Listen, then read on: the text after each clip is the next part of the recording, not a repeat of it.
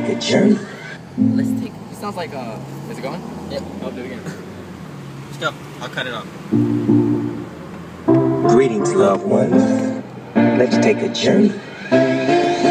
I know a place where the grass is really